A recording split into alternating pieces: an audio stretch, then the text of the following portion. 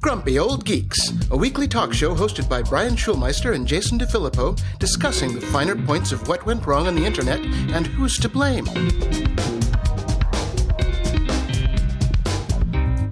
Welcome to Grumpy Old Geeks. I'm Jason DeFilippo. And I'm Brian Schulmeister.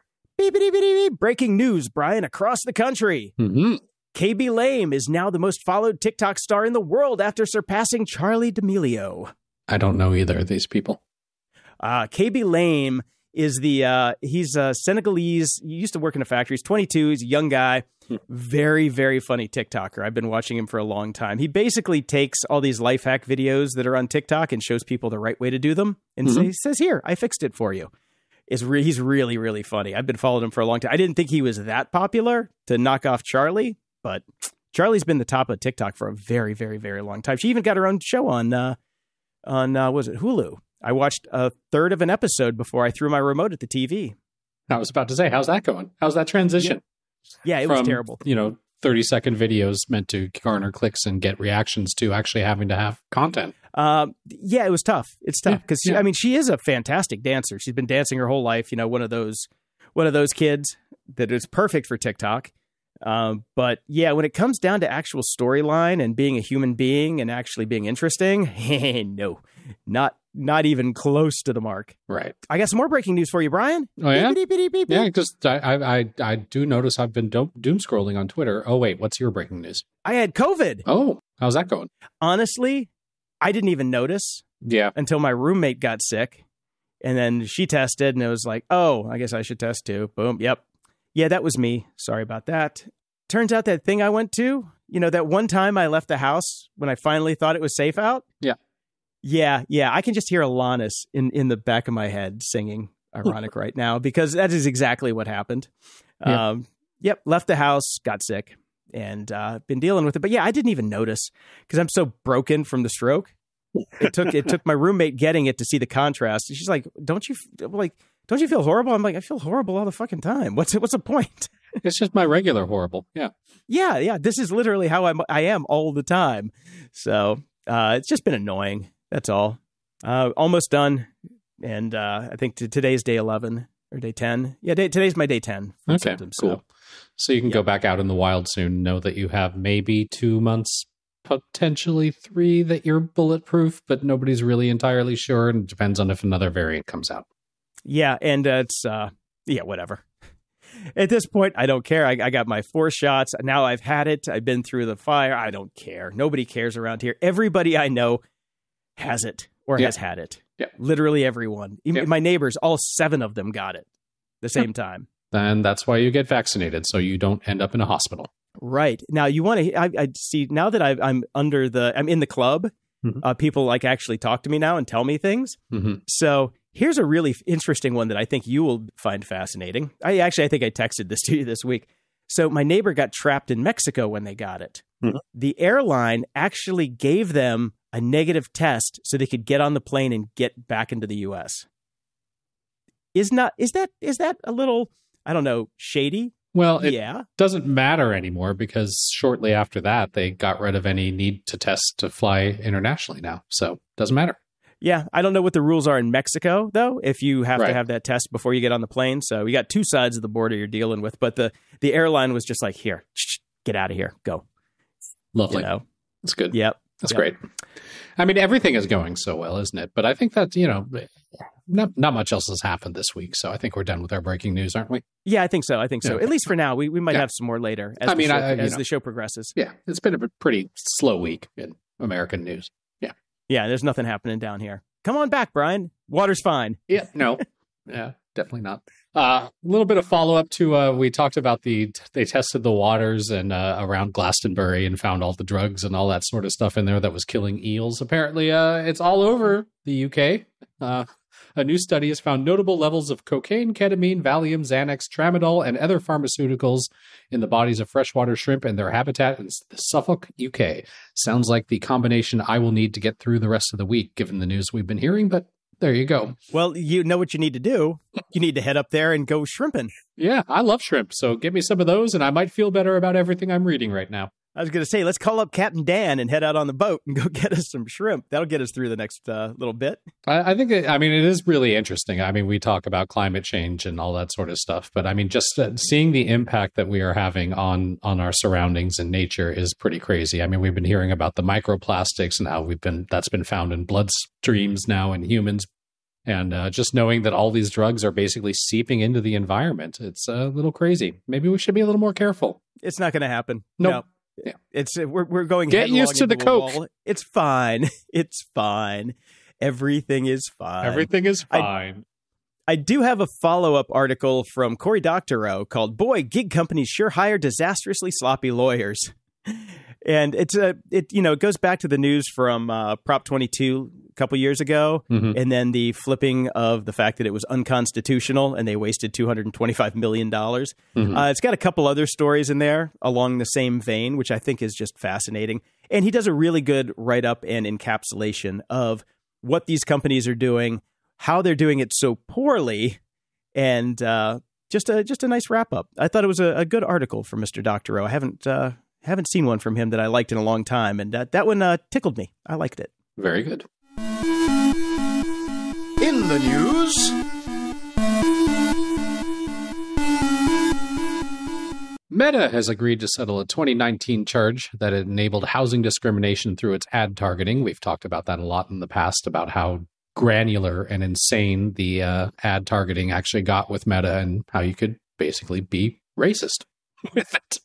And Yeah. yeah. Uh, yeah, and they said, yeah, you sure were. So you better settle some of these charges here. So they paid up some of their coffee budget again to take care of this. Mhm.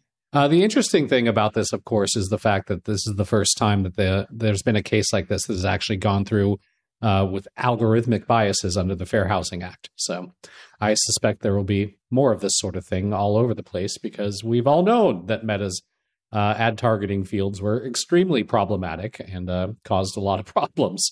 So, uh, $150 million fine. Uh, that was the Twitter. That oh, was that's the Twitter, fine. one. Sorry. That's yeah, right. yeah. I was going to say because it, it wasn't just Meta that got slapped. Twitter got slapped with the the algorithmic advertising as well. Yeah. The problems are the algorithms. We're going to talk about this in a couple other spots in the show today. But the problem is the algorithm. Yes, they are. Well, Meta, Microsoft, Nvidia, Unity, and a couple others are trying to get together to form a standards board called the Metaverse Standards Don't- Forum. Don't we need a metaverse first? No, actually, you need this. Well, because you needed the HTTP protocol before you could have the web. So, and you you know, and you needed HTML. Right. Both of those kind of went hand in hand. So, I think this is what they should have been doing before they even started the metaverse Yes. project because interoperability between systems is the only thing that is going to make a metaverse meta. You That's know, true. you have That's to true. be able to talk to somebody else. Otherwise, you just have the Palace or Second Life or every other standalone. But do you think it's even possible anymore? Like, I, I don't. Okay, maybe, maybe, but don't don't they all want to be the gatekeeper and they don't want to share? That's the thing. this yeah this is the problem and we're already seeing competing standards that are probably going to emerge because there are other companies that are not in that group like Mhm. apple and you Yep. know uh niantic who's kind of big in the ar metaverse world roblox Yeah. and snapchat taking up the Oh, rear they're on. like they're like we me too me too Us- we're not going to join we have glasses. We have glasses. breaking news brian Mm. grumpy old geeks has decided not to join the metaverse standards forum Yes, Again. we're going to develop our own Betamax version. that's right It'll That's be right. better, We're- but nobody will care. but it, hey but in our metaverse people will have pants that's Okay. all i'm saying And legs. Yeah, both. and legs, which uh, which if you can tell by the other story that I have here with Meta, because they are launching a uh, an avatar clothing store with designer brands, designer brands like Balenciaga, Prada, and Thom Browne, and uh, yeah, yeah. Um, this is bad. I mean, uh, granted, they did put pants in the store, but you know that they don't have them actually. When you once you leave the store, they keep the pants. I don't. I. This is ridiculous. It's Well, like- I mean, uh, it's just NFTs again. Well, no, it's not. It, this isn't even. This is, doesn't even go as far as an NFT. There's no blockchain involved. This is just pure digital goods. Yeah. But there's no. They're they're they're selling the digital. They're putting the cart before the horse. Because where the fuck are you going to wear your Balenciaga T-shirt in in what metaverse? Because there isn't one yet. I know, I know. It's crazy. They don't even know where the store's at yet. Well, it's everywhere. It's meta, Jason. It's everywhere and nowhere all at once. It is the alpha and the omega. yeah. Oh, geez. I, I don't. I want to know what's going on with Balenciaga because I thought that they used to be high end, but they're putting their name on anything. Like all of these high end fashion brands are just like they're just slapping it out there. I think that they realize that there's with the, with the Bit Bros Yeah. and uh, and crypto falling, like you know their main client base is going away, so they have to start spreading the love. Well, yeah, and Russia, you know. Russia's economy is tanking, and that's where a lot of this stuff was sold to the super rich uh, people in Russia. So good luck with Oh. that. Oh well. Big market there. Uh, former Tesla contractor has rejected a $15 million payout in a racial abuse lawsuit. Uh, this is Owen Diaz, a former contracted elevator operator at Tesla's Fremont assembly plant, successfully sued uh, the automaker for creating a hostile, racially abusive work environment and was awarded $137 million by the jury. This was winnowed down to 15 million by a judge who gave uh, Diaz two weeks to accept or reject the new amount. He basically said that the uh, he agrees with the claims, but he found the Uh-huh. award amount excessive. Which, I mean, I didn't realize judges could do that. I thought once it was handed down, that was that. But shows what I know about being a judge. Yeah, sentencing. You know, sentencing guidelines are just guidelines. Right. So they do have they do have the final say, and I got to say he was excessive as well. That's that's not really meeting in the middle, you know. Yeah. No, it's not. It's you, you know, if you're going to tilt that one way or the other, you find somewhere in between, right? Not winnowing it down to well, not that fifteen million dollars is next to nothing. I'll take it. Yeah, seriously. Um, come on, uh, 137 million is also come on.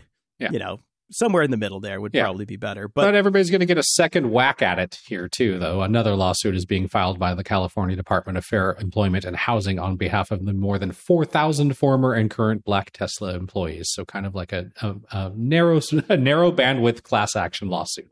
Yep, yep. Um, the thing about it though is, uh, you know, I I I, I, I got to look over my shoulder here. Elon Musk is from South Africa. I'm just saying, might want to look to the source. It wasn't Right. him. It's his company. It is his company, and and uh, yes, company mores start from the top down. That's right. Mhm. Uh, we got some more TikTok news though. Yep. TikTok has decided to move all of its user data to Oracle. Wasn't this a big brouhaha like three years ago? Weren't we talking about that then?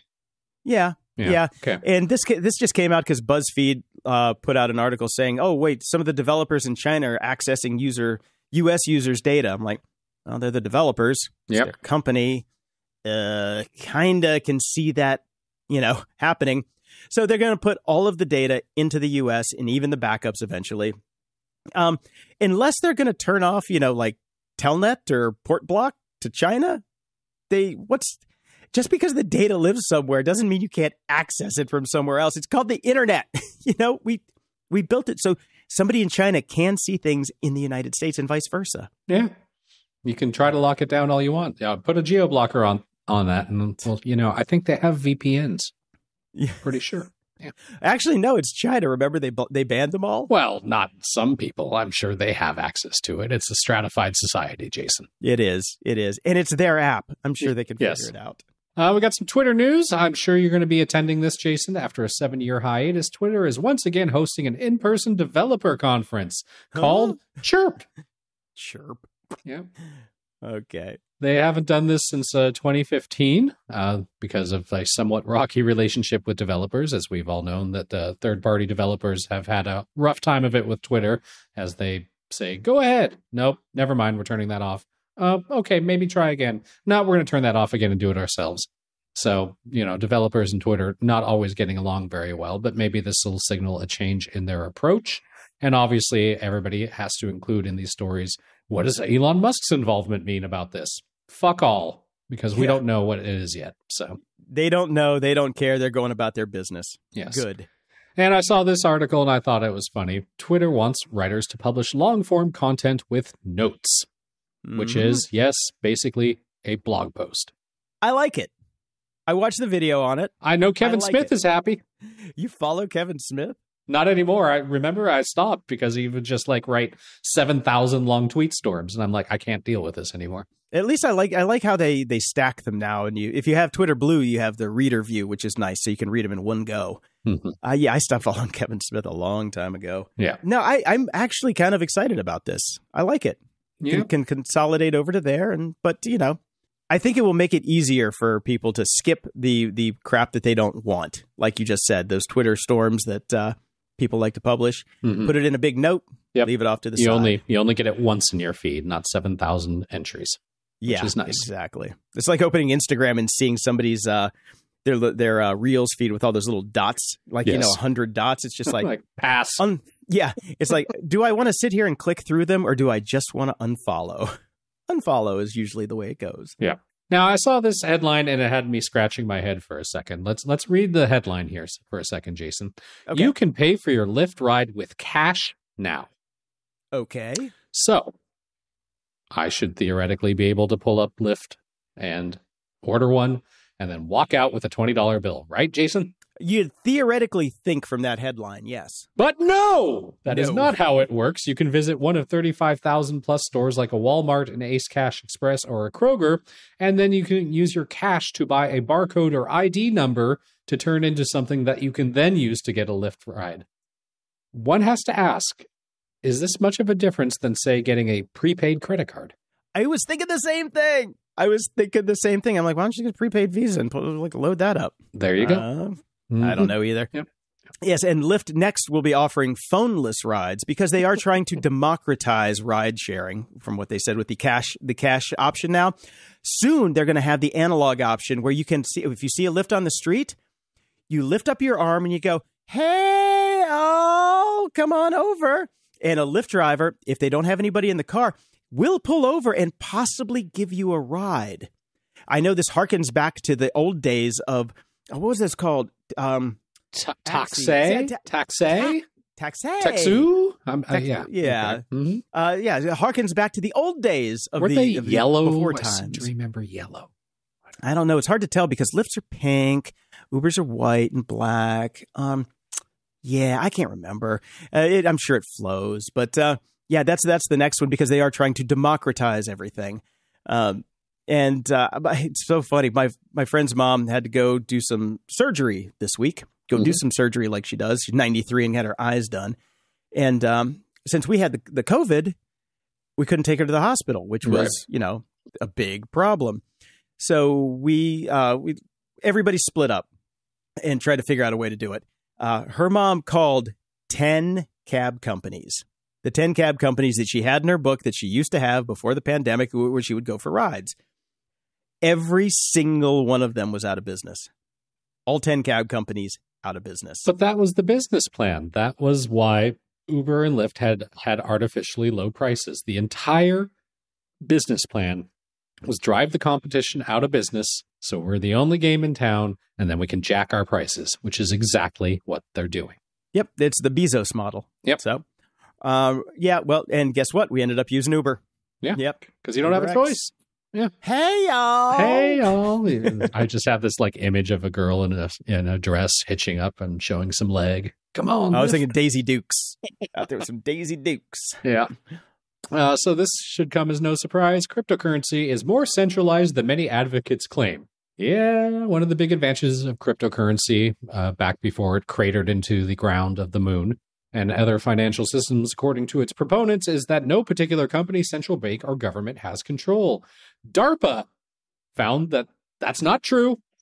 There can be unintended centralities in these supposed decentralized networks. So Mhm. uh, they, uh, in an interview with NPR, uh, Dan Guido, CEO of Trail of Bits, which is a software security research company that worked on the report, uh, said that concentrated power is among people and organizations that have a large chunk of the pie, almost like any other capitalist system. Some might argue. All right. Yeah, so this gets into some of it. Uh, the report also notes that three ISPs handle 60% of all Bitcoin traffic. So one, there's a big problem right there. They can slow down or halt Bitcoin traffic. Uh, anybody with a, a hack, anybody that hacks them, or someone with oversight of any of those ISPs. Uh, they've also, they, I love this one about Solend, which is based on the Solana blockchain. Uh, they tried to take over one of its largest, uh, single largest accounts because it said the operator could have significant sway over market movements. So basically, here's our coin. Don't get too much of it because then you're in control of it, and then we're going to try to liquidate your position. Sounds like a great program to me. Yeah, but the funny part is about that whole thing that because the, the the Solend and the Solana thing, it, you know, Mhm. it was all run by a DAO, Yeah. and the DAO voted on this thing. Yeah. but it turns out, you know, because they they were trying to end around the whale. Yep. Well, the whale has all the votes, Mhm. ninety nine point eight percent of the votes when it comes to a vote. So I vote no. the funny part is that at the beginning, the whale voted yes. Yeah. And then the next day they did another thing because they got such bad press about like saying, you, well, you discovered communism. I think it was one of my favorite favorite tweets. Oh, Solana just discovered communism. Yeah. And uh, it's so they got such bad press about it that they tried to flip it back. And it's like, you, you know, the emperor has no clothes. We know now. We know. Yeah. It's it, it is not decentralized. It is not. It, I mean the the DARPA report is really good because it points out the fact that you know it, the ISPs handled sixty percent of it, three of them, and the point that they're trying to make there is that everything on the blockchain happens via consensus, a majority consensus. So if somebody owns fifty one percent of the network, the active network, well, then they can actually do things to the network and the blockchain itself at that time and kind of take it over. So say you say like you know you you you stage this massive blockchain takeover you knock those three isps off the internet for a while. Hmm everything happens you know everything gets uh, reconciled and settled then you slowly bring the other people back on and they get folded back into it. They reconcile with the new stuff and you have just you know done some kind of bitcoin takeover it is going to be very difficult but it is possible and there that's why darpa did this Mhm. to show you how possible it actually is Yes. it's great i This love is. it. I mean, they are literally making this up as they go along. They're, this Mhm. this is Ronald D. Moore's The Plan uh, in real life, and sounds like a great place to invest your money. I think the problem, I was thinking about this this morning. The problem with these guys is they've never been punched in the face as as as people and humans in the real world Mm-hmm. because they don't understand that actions have consequences. I wonder why they don't see don't see that. Oh, Yeah. hmm. I wonder why. Sorry, we're not talking about that sort of stuff. Okay. Yeah. Okay. I, I found a new site that is my new favorite, layoffs.fyi. Mhm. This is a layoff tracker, kind of like uh, Fucked Company was back in the day, but not nearly as funny, although Pud was kind of an asshole. Um, this is showing us in real time what's, or at least uh, close to real time, how many people are getting laid off from different companies.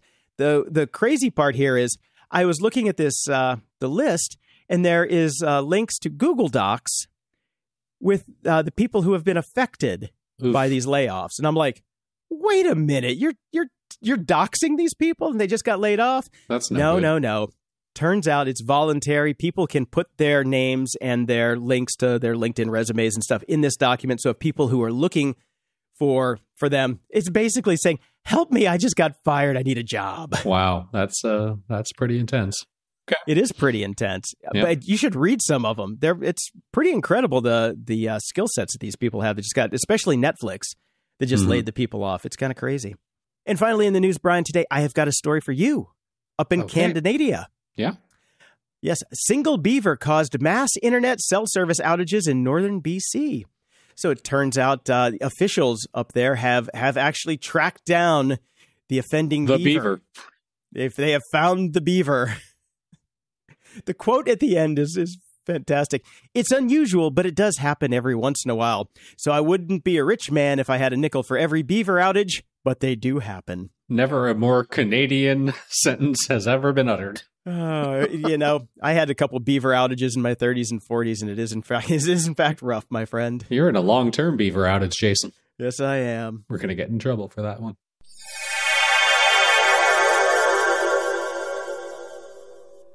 Summer is here, and the deliciousness of neighborhood barbecue is filling the air with all the glorious smells you could ever want. And what do you need to create your very own special barbecue? Well, ButcherBox, of course. ButcherBox is my summer savior subscription service. They source their meat from partners with the highest standards for quality and no antibiotics or added hormones. And no more searching the grocery store for 100% grass fed beef, free range organic chicken, wild caught seafood, and don't even get me started on how hard it is to find heritage pork at the local chain. You just can't find it. We get a nice mix of poultry, pork, and salmon, which is all incredibly delicious on the grill. And I just discovered cedar plank cooking for my salmon, and I am hooked. Hooked, I tell ya. Every month, ButcherBox ships a selection of high quality meat right to your home with free shipping for the continental United States. Each box contains between 8 to 14 pounds of meat, depending on the box you choose. That's enough for 24 individual meals. Customize your own box or go with one of theirs. Either way, you get exactly what you want, and like I said, we go for the poultry, pork, and seafood trifecta. Get summer sizzling started with this special Butcher Box deal for our listeners. Free bacon for life of your membership, plus 10 bucks off. Sign up today at butcherbox.com slash GOG and use code GOG to get one pack of free bacon in every box for the life of your membership, plus $10 off your first order. That's butcherbox.com slash GOG and use code GOG to claim this deal. Today's episode is sponsored by Private Internet Access, America's number one virtual private network, also known as a VPN. Even if you use incognito mode, your internet service provider is storing your browsing data and many times even selling it. But Private Internet Access, or PIA, can help. PIA encrypts and reroutes your internet traffic through one of its own servers, hiding your data from your internet service provider or network admin. And with servers in over 75 countries, you can get unrestricted access to geoblock content around the world.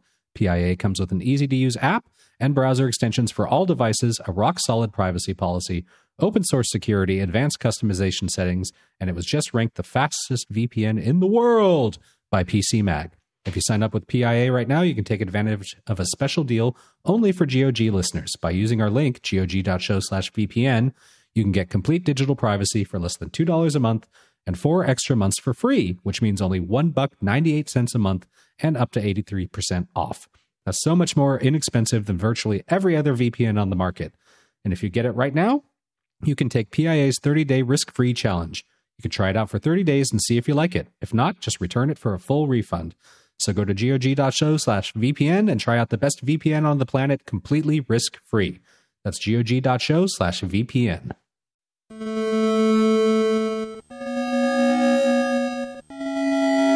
Media Candy. Brian, I have some follow up on the Orville. Okay. I watched the first episode and I reported back on that, and I was not impressed. I was actually fairly annoyed with Yes, the first episode. Called it the Wokeville. I did. I did. Um, the thing about it is, I watched episode two and 3 Mhm. Phenomenal. Okay. Absolutely phenomenal. It's up there with some of the best next generation stories that you're going to find because it's kind of what it's, you know, that's why he based it on Yeah. next gen when he started, which is why I'm having a problem with universe creep. I don't know which universe I'm in at any given time because we're watching so much sci-fi in so many different universes spread across so many different galaxies.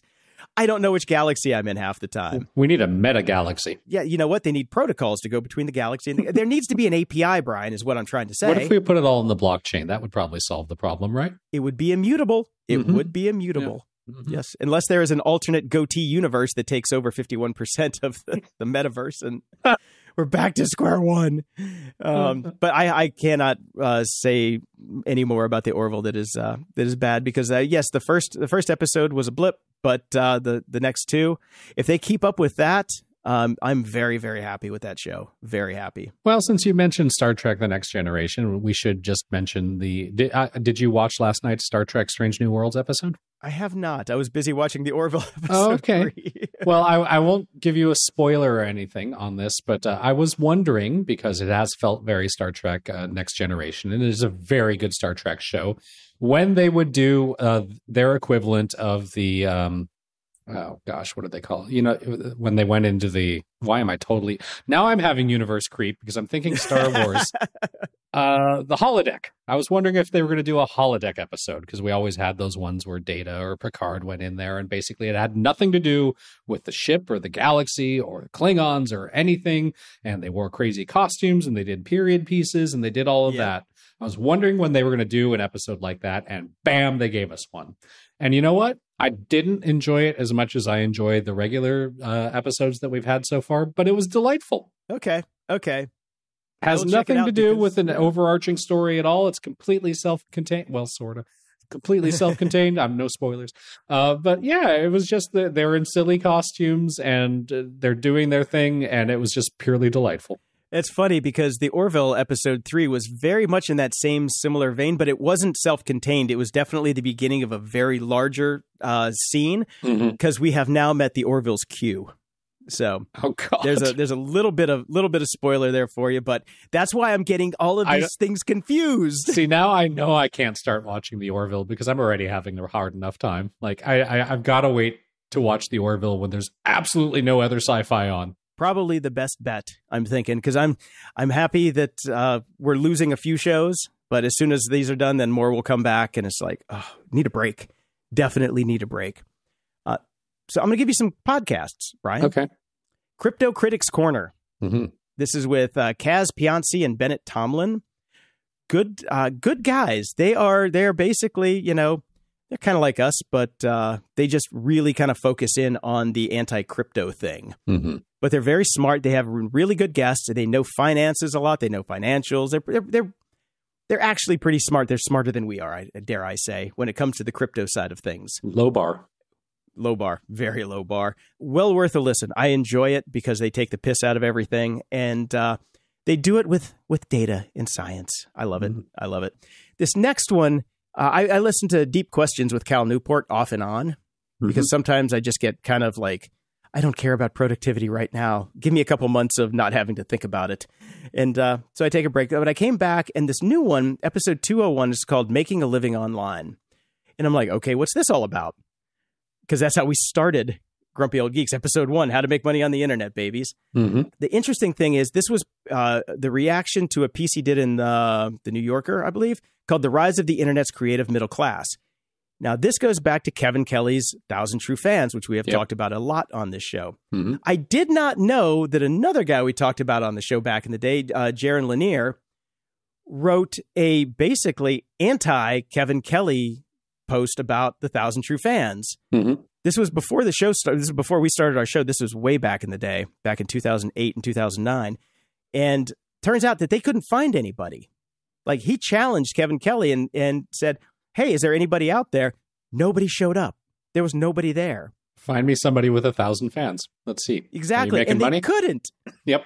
Well, we called So- bullshit on that pretty quickly. We're like more like ten thousand minimum. Yep. Well, nowadays, Cal has done the numbers. If you want to have a podcast that makes hundred thousand dollars a year with a weekly with a weekly cadence, and make you uh, you need thirty thousand fans. Right. Well, that that's for one person. Yeah. Um, What if there's two people on the podcast? Yeah, we Brian, we need sixty thousand fans. Yeah. Uh, please share the show with the friends and the enemies and anybody else you can, because we are quite a bit away. You need to force five of your friends. Every one of our listeners needs to force five friends to listen to the show. Like force them, not share. Force Yes. them. Yeah. tie them down, make them listen, make them download. I don't care how you do it, but five people, every single one of you is tasked with five people. And I, I just thought that was fascinating that I, I never knew that side of the story that uh, Jaron had come out against it because I didn't know that he had been. Uh, I, I know him and Kevin were friends Yeah. back in the day, but I did not know about this. And uh, it leads me to uh, one of Jaron's books that we'll talk about it at the library. But it's a it's a really good read. The actual The Rise of the Internet's Creative Middle Class article. It's about a 5,000 word article. It takes a little bit to read, like 20 minutes, but it's great. It's a fantastic piece because what has happened in the interim time is it's actually starting to come true. It took a lot longer because the tools actually weren't in place, and it does take a long time to cultivate those fans Mhm. to actually prove it right. So I think I think that we are actually seeing the kind of the idea, Kevin Kelly's original idea, starting to come to fruition. But it's you know his numbers are way off His because numbers he's are just off. a little bit. He's way too optimistic. Yeah. way too optimistic, and it took way longer. And I, I I really enjoyed it because I am seeing a lot of that, and I'm basing my entire fucking you know career on the fact that that's going to be true because I am building a place for people to come get those fans. So I I, I am I'm optimistic. All right. Ryan. I'm optimistic about the thousand true fans again. Okay. Well, uh, speaking of your new business, you briefly had a moment in the sun to get some big names there, Jason, because Barack and Michelle Obama have left Spotify. Gasp! Yeah. Well, they, have they didn't actually leave. They were kind of shown the door. Well, they're they're they're. I think both parties are saying, well, we've decided not to continue our arrangement. Unfortunately, Hmm. they quickly signed with Amazon, so no shot for you. Uh, well, here's the thing: there is a shot for me because the entire premise of my my business is the fact that I put myself in between where the celebrities live and where the other studios are, so they don't have to drive in LA traffic. Yeah. Well, hopefully they will move to Woodland Hills, and uh, then Exactly. then you can get them. Well, Calabasas or Hidden Hills is where all of the celebs live, or even farther out in Thousand Oaks and places like that. Yeah. And I am I am the oasis in the middle where they could stop and have a podcast and go back home without having to hit the 101 405 interchange. Yeah. Now, that right there is well worth its uh, price in gold. Um, I'm I'm good for the Obamas. You know, Yeah. I'm sure they'll get some money. Yeah. I did not like the stuff that they put out with Spotify, Nope. and apparently I they didn't didn't either. Yeah. So Yeah, I didn't either. But uh, you know what? The kids show that they've done is very good. So good, good. Yeah, I mean, I, I'm I'm sure that they're going to do just fine, and and it is a first look deal with Amazon. Yeah. Um, I mean, uh, Audible. So same thing, I guess. same thing. Uh, Yeah. yeah. So you know, they don't have to produce the shows with them, but they just have to bring them to them first. Yeah. So I don't know if they're allowed to go outside of the deal after that. If if, if Amazon says no, if they're allowed to still do it on their Well, own. By definition, that's the first look. So Exactly, but Yeah. you never know contracts anymore. That's true. And and I, and the people who wrote this article are from Engadget. Uh, they're not really the Hollywood Reporter, so I don't expect them to know the nuances of how Hollywood deals work. But uh, I did start watching The Old Man on Hulu. okay. Oh my god, new favorite show that is not sci-fi. Thank God, it's not sci-fi. Uh, it's got Jeff Bridges, John and John Lithgow Mhm. right there. Uh, there's Amy Brenneman too, which is kind of annoying, but uh, Jeff Bridges steals the show in this. It is he's incredible, and, and not just because he owns two Rottweilers. I'm not being, you know, speciesist here. Uh, it really is a phenomenal show. So two episodes, or actually three episodes out now as we're recording because the new one just dropped. Highly recommended. Highly, highly recommended. If you want something that is not sci-fi, Excellent. Uh, the trailers for it look great. So dude, it is slow. I'm going to tell you right now, it's slow, but it's realistic. The fight scenes are incredible. They are so realistic. Um, and sadly, but excitingly, Animal Kingdom is back. One of my other favorite non-sci-fi shows. It's back for its final season, and uh, Okay. it's killing it. I love that show so much. Did you ever check it out? Are you a fan? Mm, no, not really my thing. Okay. It's good. It's good. Um, I did try and watch Oblivion on HBO Max. hmm I, I can't. I, I don't know. I'm going to have to cancel HBO Max. No, Nothing, nothing works. I'm piggybacking on yours. Well, you can send me 15 bucks a month and you can keep it.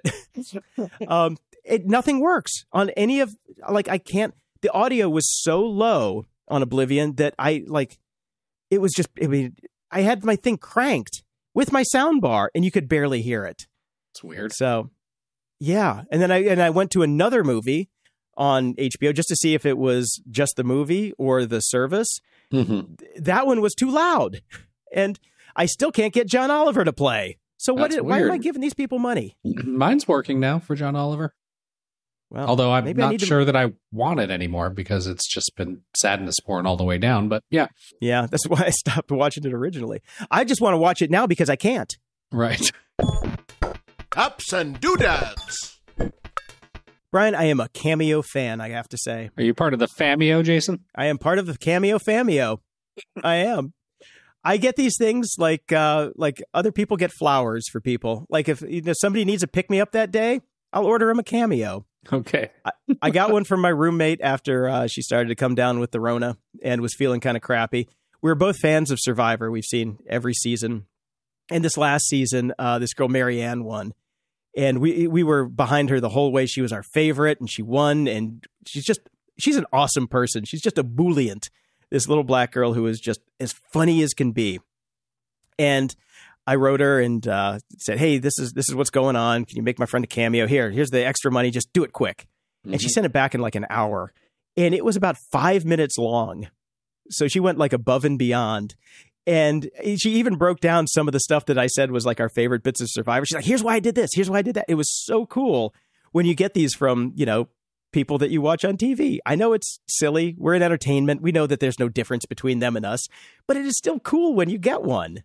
I So- look. I always thought it was a great idea for a company. I, th- I think that they flew too close to the sun. They grew way too big, and you know, got much bigger than they ever needed to be. But it's a great idea. Yeah, Yeah. I love it. I love it. So far, I've gotten Penn Jillette, uh, Carson from Queer Eye, and uh, Maryanne from Survivor, and all three of them have made the, the like the the people who I've given them to. It has made their day, and then some. Like you still you still think about it like you know weeks after. So I, I just I recommend it. Can we still say Carson from Queer Eye? Because that was like that's like saying Kristen Dunst from Interview with a Vampire. It was like so Well- long ago. I, I never watched him on. I, I did watch him on Queer. Eye. The next time I saw him ever again was when he was on Celebrity Big Brother, and we were Right. watching him there. And when he got kicked off, he went to Cameo. so, uh, but we were rooting for him, and so I I had had another video made from him. Uh, they're they're just fun, man. There's Yes. there's so many celebrities on there too. Hey, maybe we should get on there. Should make a Sure. dollar. Five bucks. Um, and I saw this one because it was just fun. Uh, flying car company boss completes first ever commute in $83,000 space age vehicle. Mm-hmm. And the company is called Jetson. Good name. Dun, dun, I think. dun. that is a good name, actually. Yeah, Yeah. I hope they cleared it with legal, they is all I'm saying. probably didn't. Nope, because they're in Sweden. and we know what happens in Sweden. Yes, we do. This thing is terrifying. I'm Yeah. watching it, and it is flat out terrifying. It is, you got eight blades spinning at in ungodly speeds right next to you. And you can fly all of twenty minutes. and you can fly for 20 minutes up to 63 miles an hour. You can get about 20 miles away. Great. Uh, and I, I love it. Uh, somebody in, in the one of the Reddit uh, feeds that I was reading about this was like, you know, when you run out of gas in a car, it's not that bad. But when you run out of gas in your in your flying car, that could be problematic. It does come with a ballistic parachute if need be, but uh, yeah, I'm just I'm worried about uh, you know those uh, over time the stress on those uh, blades is gonna gonna happen. And what if one of those things shears off and just stabs you in the face at 2,000 miles an hour? Not just you in the vehicle itself. I don't want to be on the ground anywhere near these things when they're flying overhead. Oh, that too. That too. Yeah. no, it is. It is scary. It's it's very. It's almost the same thing as that uh, Russian hover bike that we saw a couple like five years ago. Right. I remember that. Same concept. Yeah. Also, just as terrifying. Yes. But eighty three thousand dollars. You know, and they're sold out. You can't get any more. So Uh, at least I was going to put all my Bitcoin towards that. I was getting ready to say they're sold out now, but as Bitcoin keeps falling, they might have some returns on their hands or cancellations. uh, this is really cool. Uh, scientists are getting better and better at levitating objects with sound waves. Uh, it's really cool. These researchers have figured out how to basically first they're they're just going step by step, which is this is fun to watch. First, they figured out how to have a box with uh, sound generators and speakers to be able to levitate things using sound waves. Mm-hmm. Problem was the box had to be empty. Right. Now they have at least figured out how to put an object in the box and still actually levitate things with the computational power enough to know where the reflections are coming from and things like that. Mhm. Very cool, right? Very cool, Very yeah. cool. Here's the biggest issue. Here's the next thing that they have to figure out. If they can figure out how to do this with moving objects inside of the space, now we're cooking with gas. So, next this is fun to watch, but check out the video if you haven't seen it. It is so cool. Yeah, get back to me when Trent Reznor hits that big chord at the end of uh at the end of uh Hurt and everybody in the amphitheater lifts up into the air. Then I'll be impressed. Oh, and, and it, with his, he uses his tambourine of doom to levitate everybody. DALL-E Mini has a mysterious obsession with women in saris.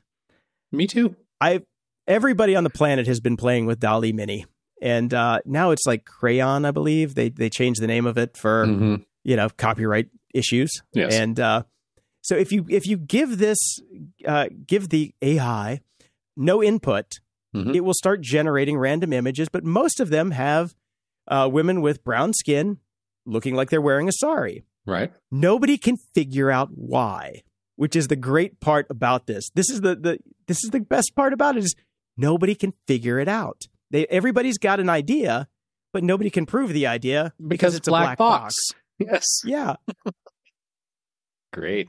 I, I, It is so no- fun. Nobody's come out and said that it has feelings and it's self-aware. no, it is not self-aware. Okay. Well, it might be. Maybe it's you know that's that's it. We're, we've tapped into its spank bank. Maybe that's its fetish.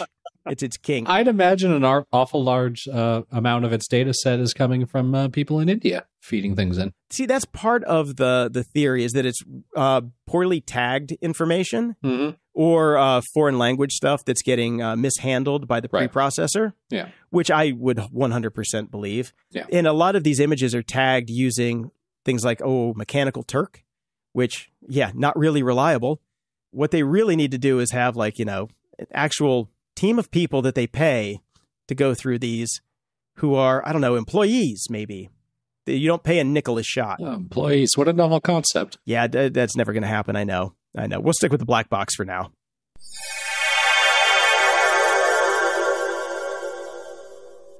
This episode is brought to you by Masterclass.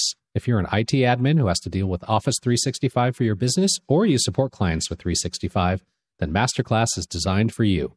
With constant changes to the portals, licenses, and features inside 365, we know it can be hard to keep up. That's why we put Masterclass together. It's your ultimate how to guide for Microsoft 365. Masterclass is not a training course. We understand that you don't have time for hours of watching videos, reading endless tech articles, or spending days on a course which is designed just to help you pass an exam. You need fast solutions so you can get the job done and get on with your day. Masterclass is filled with the best practices used every day by Microsoft consultants like you. From initial deployment and data migration right through to advanced security configuration and how to make your life easier with Endpoint Manager and Windows Autopilot. Head over to m365masterclass.com and enter code GOG at checkout for 20% off your subscription for life. That's m365masterclass.com, enter code GOG. At the library. Amazingly, I finished another book after spending over two months uh, trying to finish one book. To be fair, uh, this one was like five pages long. I was going to say that calling this a book is really a It- stretch. it's, it's actually a chapter, and I, I I I remember when this came out, and I railed against buying it because it was so expensive. It never came down in price, so I spent basically full book price for one chapter, and I read Escape from Yokai Land, Laundry Files, Book Twelve, book in air quotes as far as I'm concerned, by Yeah. Charlie Stross. Um, I enjoyed it, and all this made me realize is I will no longer read any Laundry Files books unless it's got Bob back in them because it was delightful, and I don't like the rest of them anymore. yeah. Yeah. I don't like the way the universe is going. I mean, it's a completely different series. So, not sure he should have released this because that's what it made me feel. Oh, that's too bad. That's too bad. yeah, Well, I liked it. So I got a bunch of Charlie's other books in the queue, so uh, hopefully those will be, you know, something different. But um, back to Jaron Lanier and that Mhm. book that I was talking about. It's called "You Are Not a Gadget." right. Have you read this before? Is this is this a new book or is this his one book? Because I've read This is a a book. you've read okay. If you've read a book, this is not the book because the book Okay. that uh, that book was later later on. This was long, long ago. Okay. Long ago. This is one of his old books where he really kind of came out as a techno pe- pessimist. Right. It doesn't really hold up that well because it, it basically if, if you listen to our show you've you've read the book that's Yeah. fine if you've listened to like five episodes of the show you know the book per- period uh, it just goes back into the history about it when web 2.0 was basically you know fucking us all with algorithms and things like that the beginning of it where things were starting to emerge Mhm. and how consolidation was happening with the big ones he was he was prescient enough to see in real time how we went from all of us having our personal cool homepages to it being facebook Yeah. and he was pissed. So uh, I don't think you need to read it, but if you want like an old primer, it's a good book. I mean, Right. don't get me wrong; it's actually a really good book. But I don't think in this day and age that it really lends a lot to the conversation. right. What does lend a lot to the conversation nowadays, Brian, and we need this more than ever. hmm David McRaney's back with a new book called How Minds Change: The Surprising Science of Belief, Opinion, and Persuasion. Right.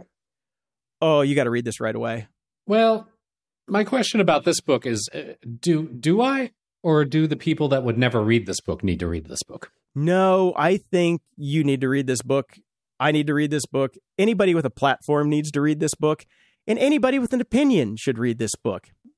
I'm halfway through it, and there is a lot of actionable crap in here on what changes people's minds, what doesn't change people's minds, and the science behind it. And it's phenomenal.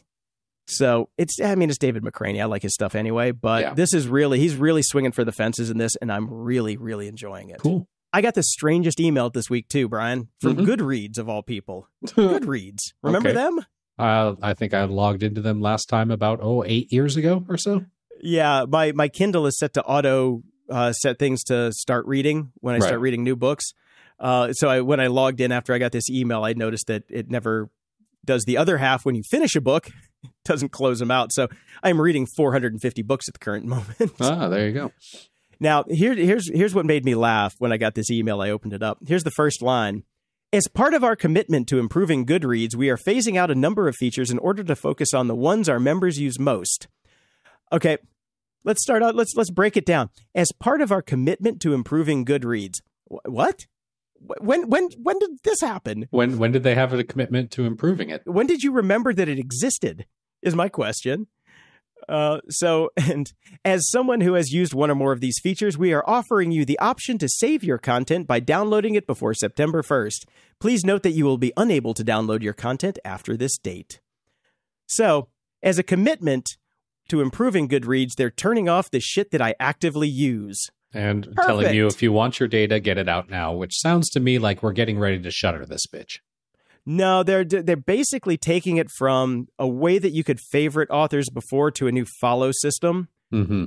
So they're swapping that out because you used to have like your favorite authors list, and now you have to. I had to go back through and follow the individual people. Mm-hmm. So it's just like a, a new way that they're tracking stuff like that. Um, I All would really appreciate it if you would just burn it down and start from scratch. Yeah, because I could, I would enjoy a service that is good reads, but actually was useful. Yeah, that doesn't look like it's twenty years old. Yeah.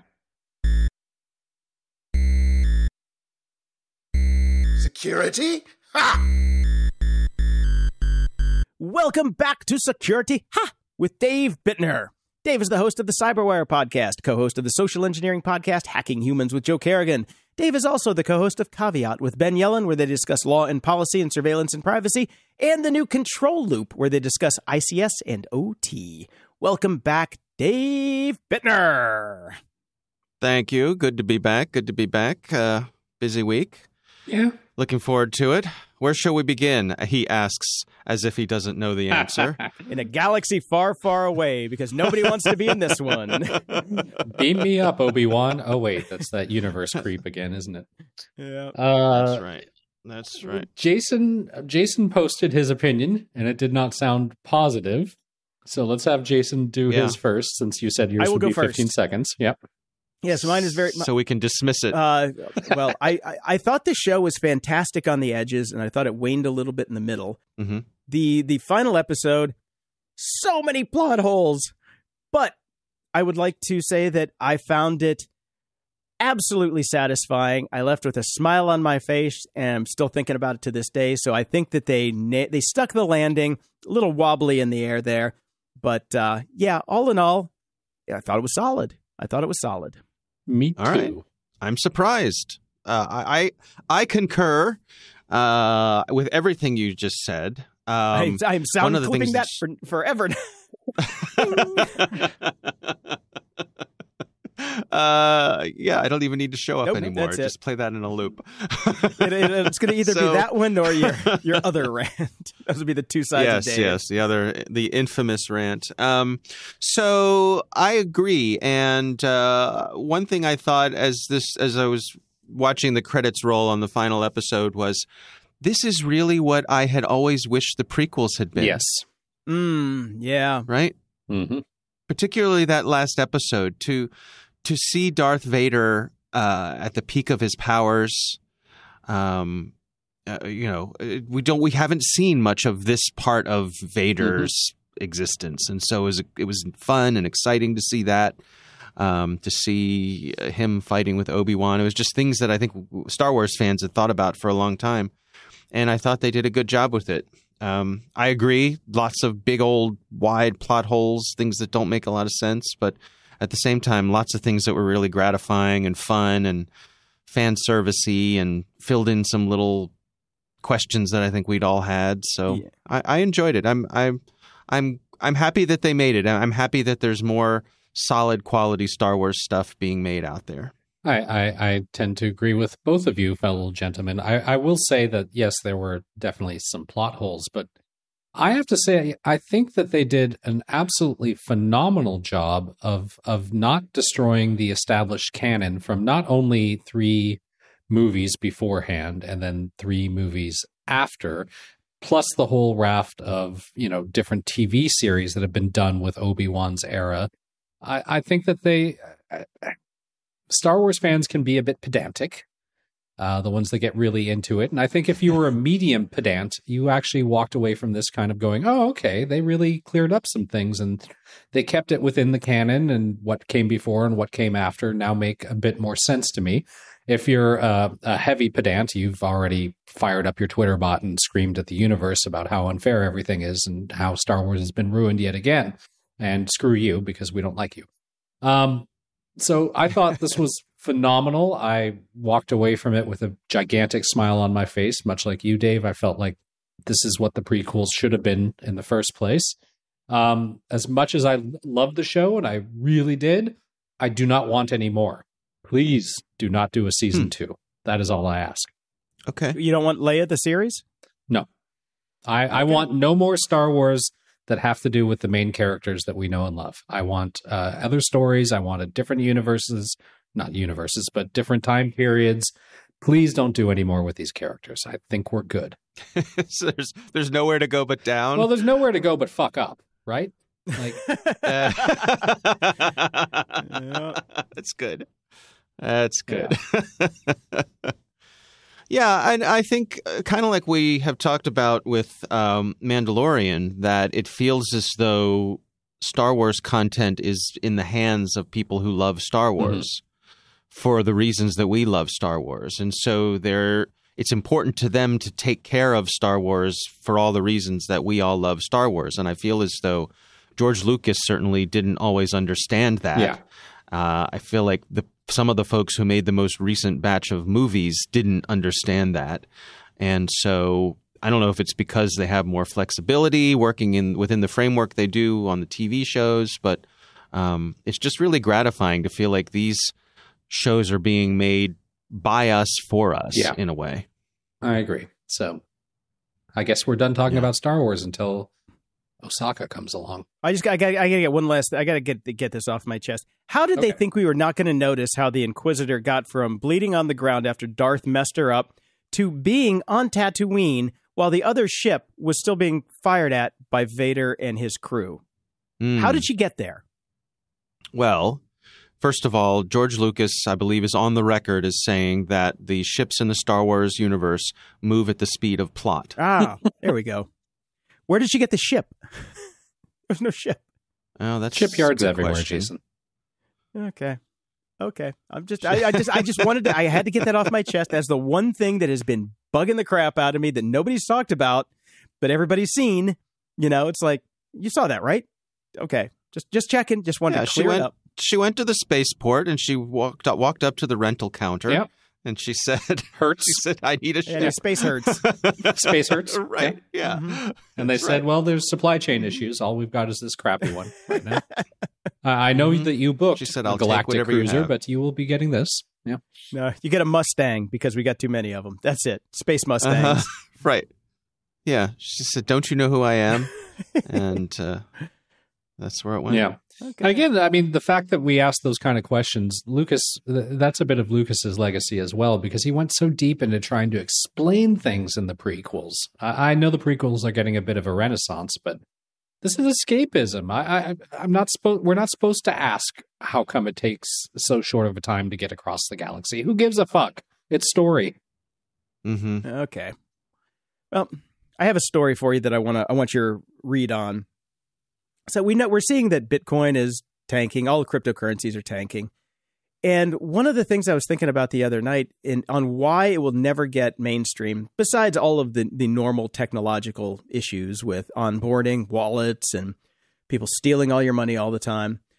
I think that a lot of the common public, their first interaction with Bitcoin was trying to figure out how to get some so they can get the kids of their or the photos of their grandkids back because of the ransomware problem at the beginning, which people seem to have forgotten about that that was the best use case for Bitcoin for almost the entirety of its existence. I don't think that that's something that they're ever going to be able to get over. Do you? Hmm. So the, the the notion is that because we started off on a shaky foundation that lacked trust, that we'll never be able to get that trust back. People will never be completely comfortable dealing with cryptocurrencies because it started out as sort of the wild west and and was being used in ways that uh, rub people the wrong yeah, way. Yeah, and people have lost their homes at this point. You know, there's nothing good that has come out of Bitcoin's existence that I can tell. mm-hmm. and you know there's there of course they're still trying to fix that problem oh it's just a glitch you know wha- whatever crypto winter it'll be back blah blah blah I don't. I think Mhm. that the public's perception, which is you know kind of key to making this thing work long term, has been so destroyed that I don't think it's salvageable anymore.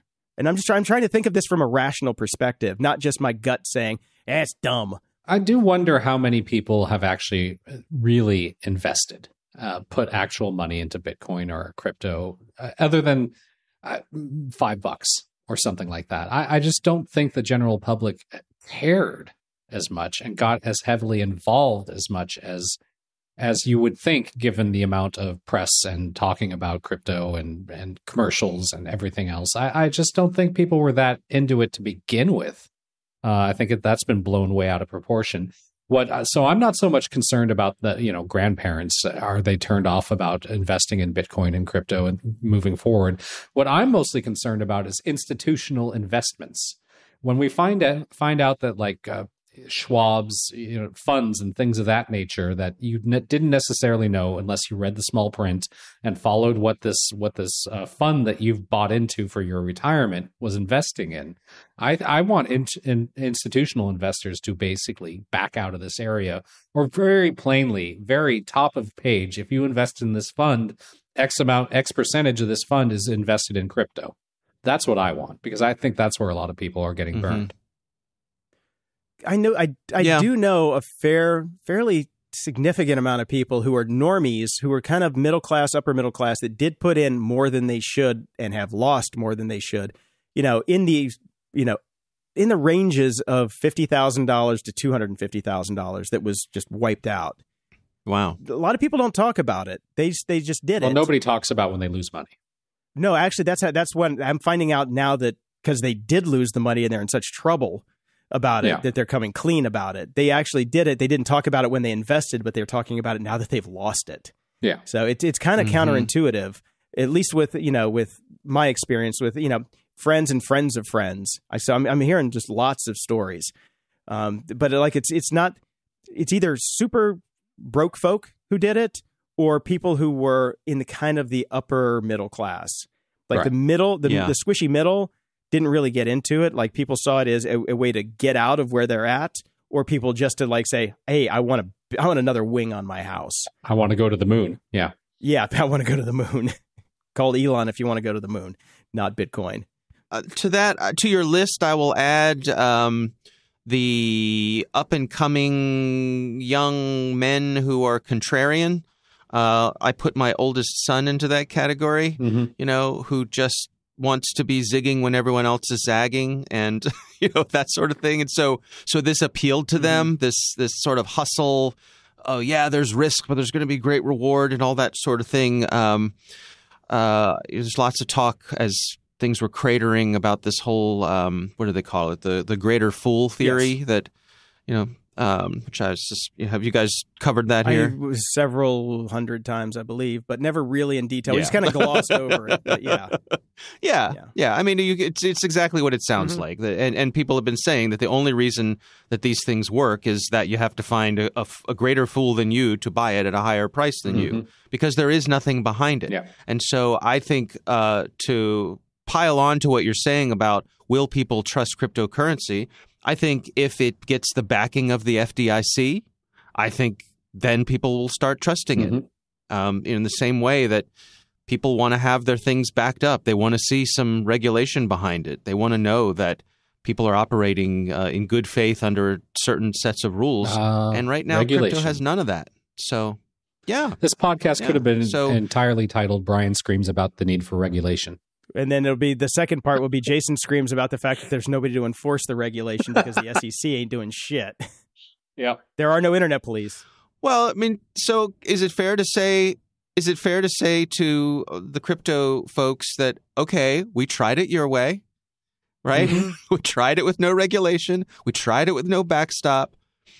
Uh, do, shall we continue and maybe try it the other way for a while and see how that works? I think it needs a technological overhaul before you can even think about regulating it because it is it's Yeah. such a hodgepodge of technologies that obviously is you know has more holes than Swiss cheese in it, and you know you were talking about consequences a minute ago, and this is what really I mentioned this to Brian earlier in the show. I think a lot of the people who are into this and are like, yeah, there's consequences, but you know, we're we're risking it and we're going to go for it. They've never actually felt consequences. No, these people have never been punched in the face because they said something stupid to somebody. They don't know mm. what can happen when things actually happen. It's all theoretical. Consequences are theoretical because they've mm. they you know they've got they if they made money on the way up, they didn't have to earn it. They never worked for it, so they don't they don't respect it. And you hmm. know they treat other people the same way with a very simple lack of respect saying that they're stupid if they don't do it. Well you know those of us who have been around the block say well you're stupid if you do do it because we understand the consequences and what can happen. Because right. there is no security behind this. It is a just a black box of fools you know? It is a black box of fools and you're just trying to figure out your way through and find your fools on the way through so you can make some money on the way out I just I I don't see it happening personally. I I want it to kind of because I think that uh, you know payments could use a shakeup. The theory behind it of you know in individual transactions to each other, fantastic. But I don't think it's ever going to come to fruition without a gatekeeper, regulation and technology married together to make it work. I also think on the technology side, uh, there has to be a way to throttle in the amount of resources that it uses. Well, that's that's just changing the the way that it's created. The proof of stake versus you know proof of work. Which right. everybody's saying that they're right. moving to proof of stake, but where? Where it's you know you're years late now. So the other thing like that is more sizzle than steak. The, the other thing that really needs to be removed from this whole equation is the cult of personality bullshit that's really driving it uh, to a large degree. The Winklevosses, the even Elon Musk. I mean, it's it's it's a cult more than anything else, and it's not it's being treated like a, it's gamified. It's it's so many things that are so wrong for finances. What's their it's their Gordon Gekko moment. Yeah, I know. It needs to be boring. That's the thing. And I, you know, a lot of people got really, really rich for a so while. For them, yeah. yeah. Where did that money come from? Other people. Right. Yep. But that's the way these sorts of schemes work, mm-hmm. right? You nailed it. Scheme. Yeah. Yeah. It's a scheme. Yeah. Okay. Yeah. I'm just I, I, just like I just want to get read the room on that because it just yeah. it, it, just hit me the other night about the whole cryptocurrency. I'm like, oh yeah, remember when Grandma had to go find a Bitcoin ATM so she could pay the Russians to get the pictures of her grandkids back? That happened a lot, right? A lot. Yeah, I wonder what if, what kind of like leading or trailing indicator that's going to be if we start seeing Bitcoin ATMs pulled from convenience stores. I think they've been pulled from the the entirety of the UK so far. Good. Is yeah, that right? That was a couple move. like a month or so ago. I think the UK banned uh, hmm. Bitcoin ATMs whole hog. Ah, okay. Good. Interesting. Yeah. All right. Well, in this shitstorm of crappy news, I do have a good story, believe it or not. Microsoft is actually shuttering a project uh, about facial recognition. They are going to retire facial recognition technology that it said could infer emotions as well as characteristics like age, gender, and hair. Uh, these obviously raised serious privacy concerns, and they've decided that they're basically going to take all these features out of their face programming network, which is good. They're being responsible about this. And they have actually shared a responsible AI standard framework with the public that uh, I do hope is good and people agree with and get on board with. Yeah. Well, I'm glad they're taking it out of the the commercial side of it, but you know that they still have teams working on this internally. They of course to. they do. Yeah. I mean, research and development. Yeah, mm-hmm. but uh, there's a difference between yeah. what you de- what you can do. Just because you can do a thing doesn't mean you should do a thing. And I like the fact that they're thinking about that and going, "Yes, we can do this with our technology now, but we can't do it in a good way. So let's pull this out of the market." Hmm. Yeah, and and making a business decision. Mm-hmm. Um, letting letting the business decision, I think, in in large part drive this you know, Microsoft certainly learned their lesson a few years ago when they released Tay out on the on the internet, and and uh, she immediately became a, a racist Nazi, yep.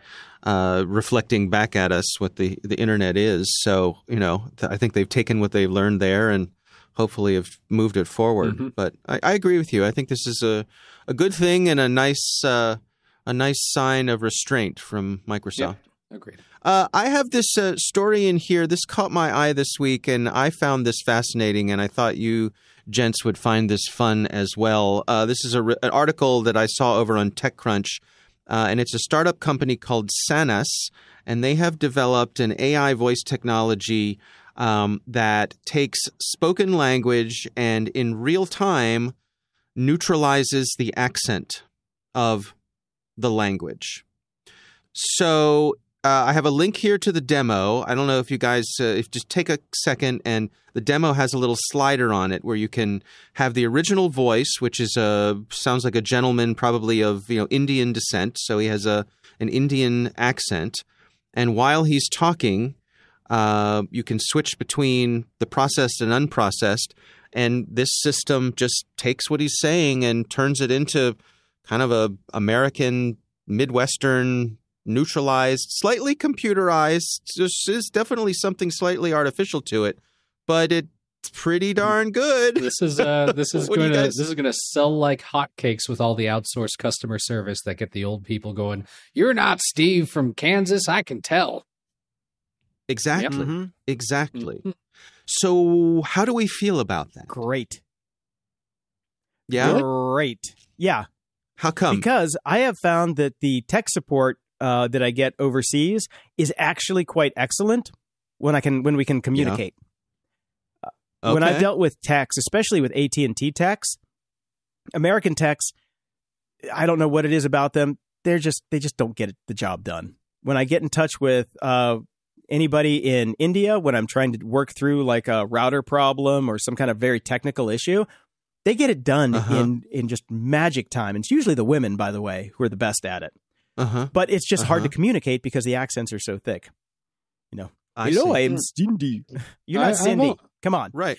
Talk I've, to me. I've only I- I have I've had many of these calls. I think there's only been one time that I really had difficulty parsing an accent because they're they've usually done some vocal training so that uh, they're at least understandable.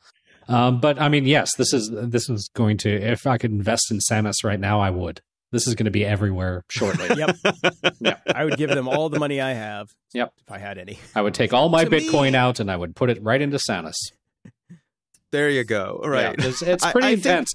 What I would love to see from this, though, is the ability to put in accents too. I would like to be Yeah, well, that's where I'm Right? going. That's where I'm going. So I have a couple couple thoughts on this. So first of all, I think on the good on the good side, this removes a unnecessary stressor from the tech support experience. Mhm. Right. I think it's fair to say that we're all com- more comfortable talking with someone who sounds like us, Yes. whatever we are. Yeah. You know, we, it just automatically puts us at ease, and there are all kinds of understandable reasons why that's so. Um, and so this helps us along that path, and I think that's a good thing. But uh, uh, to to your point, wouldn't it be nice if you could dial in and say, "This is who I am"? I'm reminded of the scene uh, from the movie Airplane. Oh, ex- pardon me, stewardess. I speak jive. Yeah. right?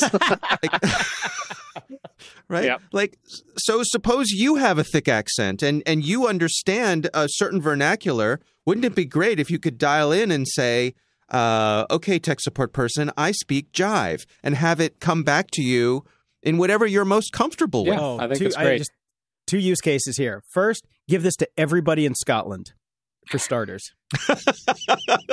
now, here's here's another use case for it that I think is pretty cool. If you can take that technology, you can take somebody's voice, you can de-accent it, then you use the de-accented voice as the pro- like you pre-process it through the accent removal tool. Then you take that Mhm. and then you use that voice for whatever you put into your input for the ladies in the tube, for Siri or Mm. Alexa, because that's been the biggest problem with those things is they they they're terrible at at accents. You know, look at the Scottish. Mhm. They they could, could never use Siri in the beginning, at least. Right. It was always the big running joke. But imagine imagine taking this technology and putting it as like a go between layer between voice and your digital assistant.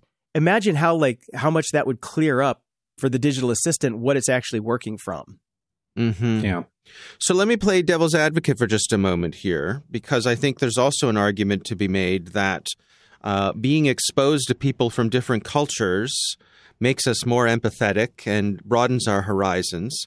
And this, in some way, is taking that away from us. If we're this is strengthening our bubble by having artificially having us communicate with more people who seemingly are just like us. I mean, I, you know, I, I think it's it's use case, right? Like it, I wouldn't want this if I'm traveling through Scotland. I will muddle through. I will drink uh, enough alcohol to make it understandable. That that always seemed to work in Scotland for me. The universal Um, translator. Yeah, exactly. Well, it's funny because I was thinking this is a first step to the universal translator.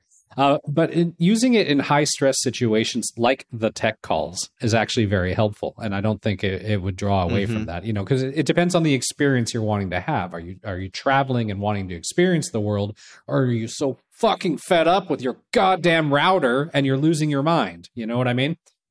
Right. Yeah. Right. Oh, can it Right. can it actually take the anger out of my voice when I'm on the phone with them? You need that. Yes. right. Your life would go so much Exactly. smoother, Jason. Far less interesting. The emotion remover. That's that's it. Yeah. Right. Yeah. Right.